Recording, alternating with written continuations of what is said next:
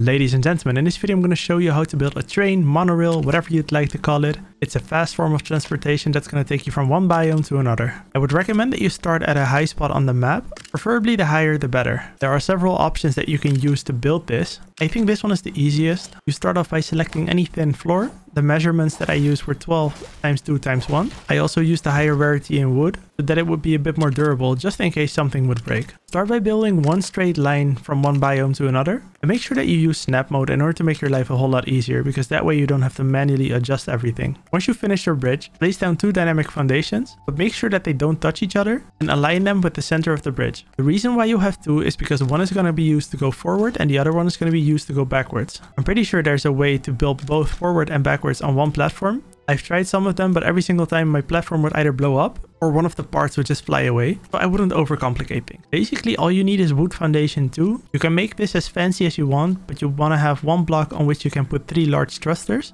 And then I just put a fence for aesthetics. You also need to put an activation switch on each of the platforms. So before you try to test this out, make sure that you go to the bottom of your structure and then place a couple of small wheels underneath the dynamic platform. This is going to make sure that your platform actually stays on the bridge and it's not going to fall off. In one of my previous attempts, I forgot this and the results were not very pretty. I would also recommend keeping it at three large thrusters because if you place more, you will need to make sure that the front side of your dynamic platform is in balance because otherwise there's going to be too much force from the backside and your platform is going to fall off again. I'm still doing a bit of experimenting with a monorail that can actually make turns, but that is proving to be a lot more difficult than I expected. Anyway, you can build as many of these as you want, and I would start at your main village so that you can quickly go to areas that you often visit. I hope that this helps you.